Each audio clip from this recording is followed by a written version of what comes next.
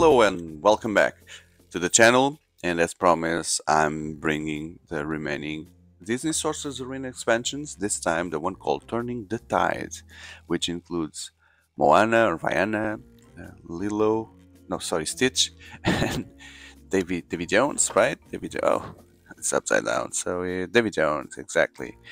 So it's a very small box as you can see, it only includes very few components. So as mentioned in other videos, I'm trying to understand if I should keep all these boxes for collecting purposes or if everything would fit inside the base game. So I haven't decided that. I will think after making these videos. But yeah, as you can see, this is the manual. Only it's not this game is not like Unmatched where every expansion is standalone. You need a core box to play this, so it only brings the the new components and the new characters. And um, here there's a new status effect coming from Stitch, yeah, Stitch here. No punch backs. All damage this character would deal to a rival Stitch is prevented, so no punch backs. Stitch becomes immune to that character. Oh, so speaking about Stitch, see what we have here. Let's see if we can start with Stitch, but everything is falling out. I really don't like these inserts because as you can see some cards get stuck there. I cannot take that card out. Yeah, I need to put my finger behind it and pull it this way. Okay, and I guess the main the main selling point of this game, you should know it by now, is these acrylic figures like this. Yes, that's Mohana there with his, her life here and on the back it's really different front and back. I'm always saying that I love that. You've seen that on my previous videos, sure. It's really a 3D 3D figure in the map or in the, in the arena. So let's start with Stitch. I'm gonna find Stitch here, okay? Here on the side, the things we don't need now. Here, here, and there's Stitch. Stitch is a very small character, as you can see and he only has 7 life maximum. Double gun. And Stitch. Yeah, skill here has a skill here which is banish a card from your hand to remove up to one status effect on Stitch. So you can sacrifice a card from your hand, which is very bad, but you can clean um, a bad status effect. And then there's a constant ability here. Whenever Stitch takes 3 or more damage, it gains 2 tough. So he automatically generates an armor when he takes a lot of damage. When Stitch deals damage to a rival, that rival gains 2 no punch backs. So when he hits, he becomes immune to that character. That sounds like something strong indeed. If Stitch has no odd number of life, it, sorry, if Stitch has an odd number of life, it deals 3 damage. If he has an even number, deals 4. Okay, so there's a random thing here that may happen on this damage. The same thing here. Oh, oh so is the strategy always going to be this? Depending on the kind of number you have on life, you get different things. Move 3 spaces, and if he is adjacent to at least 2 allies, you shuffle. Oh, so you can discard them from your power and then you can shuffle them back here with oh, oh, oh Ohana means family. Stomp the ground. Okay, deal damage and then you can either gain life or you can gain an additional action. Plasma cannon, attack on range, and then you can divide between two rivals or three rivals in damage. So that's the strategy for Stitchy. You can see it's let me see how much life do I have and then it applies different effects. 4 damage and punch back. Okay, Stitch. That was Stitch. Then. Okay. Then where? Why don't we go to Mohana here because it's all she's already assembled. Mohana. Okay, so Mohana. She can sail across the sea if there are two or fewer ocean tiles in the. Ocean. Oh, look at that. The ocean tiles. So she brings the ocean into the game. If there are two or fewer ocean tiles in the arena, place an ocean tile in an occupied adjacent space. Okay. And why do you need that? Whenever you place and when she goes upgraded, she becomes the master wayfinder. Whenever you place an ocean tile in the arena, you may look at the top two cards of your deck. Put each of those cards back in any order. Okay, just scrying your deck whenever you put an ocean theme. But let's see what she can do with the ocean. Crushing waves. If there are two of your ocean tiles, you place one.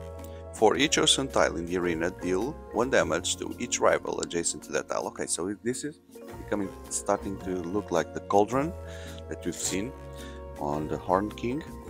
Chosen by the ocean. If there is at least one ocean tile in the arena, deal 3 damage to an adjacent rival.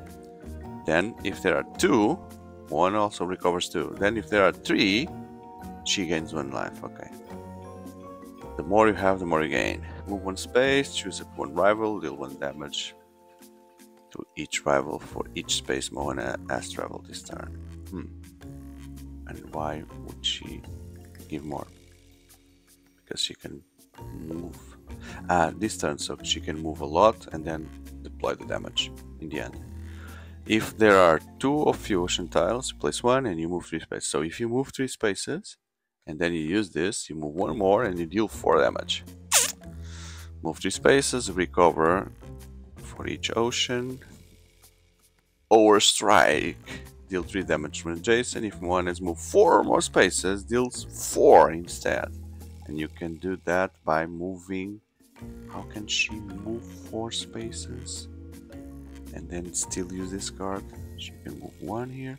Maybe she is there something that I'm missing here? That she could travel faster on the water or something? Move to uh, places? Because it seems like there should be.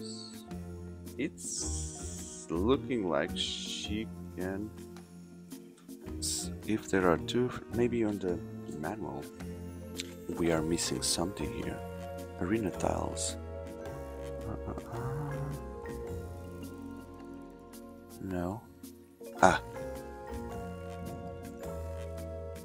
When an oceanic character. Okay, so yeah, she is an oceanic character. When an oceanic character moves through onto that character, character is the active character, remove this tile from the arena. That character somewhere may add one space to that character's current movement. Okay, this tile has no effect for non-oceanic. Maybe Ariel from the core set is also an oceanic so you can this is like free movement you can just jump through that's why she will deal damage based on the number of movements makes perfect sense but it's not explained on the cards just on the map then last davy jones. Davy jones from pirates of the caribbean. Bad guy from the second movie i guess. Just appears here out of nothing. And his skill is one ally gets two curse so he can curse. I don't remember what curse is. Sorry I need to check the base game manual. If Davy Jones is cursed why would you be cursed? He is already cursed because he is an octopus. Whenever an ally with curse deals damage to one of your rivals, one or more rivals, Davy Jones recovers. Okay, so he's cursed, allies are cursed, and then you get life if everyone is cursed. At the end of the starting phase on Davy Jones' turn, choose any space in the arena, deals 3 damage to each rival on it. Each rival on it. You can have more than one person in a tile. Mm, in a space, okay. Deals damage to each rival on or we didn't ah didn't want I should have just read one more second and the answer was that. Then flip this card over. Okay so it only happens once. You choose one three damage there like satellite damage. And then expands to your friends. Oh he's also an oceanic guy oh and Lilo Stitch is also an oceanic guy here as well so yeah that's a huge combo for these three guys here because they will all benefit from turning the tide. I never noticed that this was well intended here. Okay, cool. So I guess they will become very strong if you team them all together, the Team Oceanic. Was that the reality from the previous expansions? I need to notice that. If if they all work together, they combo within themselves. Well, but the only benefit here with these guys would be if you use at least Moana, which brings the ocean tiles. Because if not, I'm not. At least for now, I'm not seeing any other combos. Drag below. Davy Jones and each adjacent rival gains two curse. Okay, that's how he gets cursed. Davy Jones deals one damage to himself and to each allies. Is dragging them below, so both suffer. The black spots. I don't remember this from the movie. Davy Jones gets cursed. Davy Jones will be always cursed. At the beginning of your ending phase, each rival dealt damage. This turn gets cursed. What is the black spot? Know. Kalos Matas deal 3 damage when adjacent rival. Up to 2 characters with curse recover 1. Do you fear defeat? Deal 2 damage to an adjacent rival equal to the number of characters with curse plus 2. Wow, so many curse around. That should be that should be nice to see. Forbidden treasures. Davy Jones gets cursed. Draw a card, then draw another card for each character on your team with cursed. Wow, that could be a lot. While your team has maximum 2 or 3, right? Davy Jones and each of you, see this one? Recruit from the Fallen. If you have KO, KO the character, gain.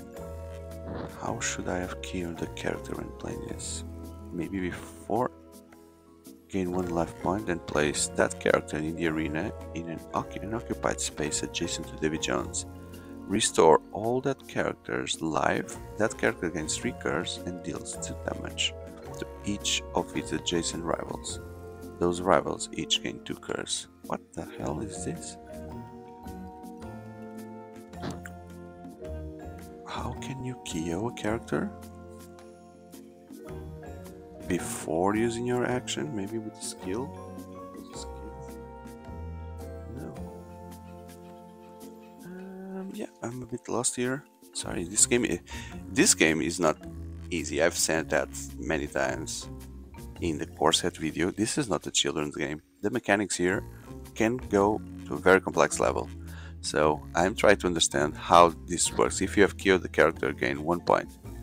Then place that character in the arena in so this needs to happen when you kill right because otherwise the character will just respawn the rival will just respawn on their base so how can you kill character? Restore all of the character? Uh, okay. Maybe you can attack twice? I need to check that. Because I'm, I'm I think we only have like one movement one attack one action attack and one skill. So Maybe I'm wrong here, so I'll need to figure that out. Maybe if you know the answer, please leave that on the comments because I'm, I'm curious. This is what you get, the curses, the punchbacks, and the ocean tiles as we've seen. And that's it. There you go. Turning the tide. I hope you have enjoyed this video. Don't forget to hit that like button, considering subscribing, especially if you like Disney. Oops, especially if you don't hit the camera. Sorry for that especially if you like Sorcerer's Arena. I'm going to bring all the content as well as board games or card games in general and, and Unmatch. If you like Unmatched, then I have, a, I have a full dedicated playlist with all that content for Unmatched. Thank you, and I hope to see you next one. Goodbye.